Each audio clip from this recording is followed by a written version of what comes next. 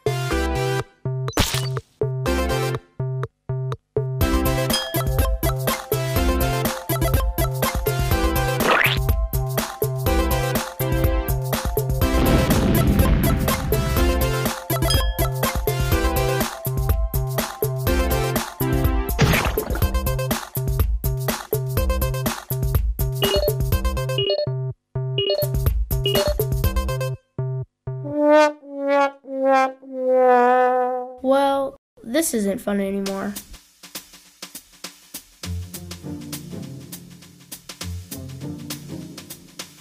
Hey, what's up? Ready to work on our project? Wait, is something wrong? No, well, yeah. That player 3 got online and was trash talking. Trash talking? Really? Yeah, and I know I should ignore it, but well, words do hurt sometimes. I know how you feel. I once posted a photo of my dog, and because I forgot to make the photo private, anyone could comment on it. What happened? The comments were totally mean, and I didn't even know those people. What did you do? You mean after I burst into tears? Well, I remember the rules of STOP stop. S, step away. T, tell a trusted adult. O, okay sites first.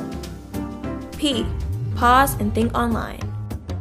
I tried to follow that advice, and believe me, it's not easy. So I told my big sister, who said that true friends support each other. No bashing allowed.